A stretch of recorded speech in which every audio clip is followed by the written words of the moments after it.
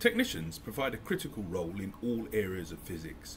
Behind every principal investigator, technicians are working behind the scenes building apparatus which make research and teaching possible.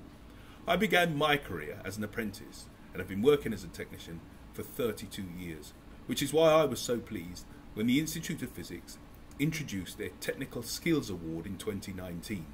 We need to celebrate what technicians do.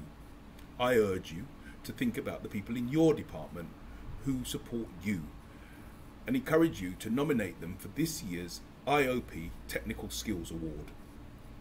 It's time we recognise these unsung heroes.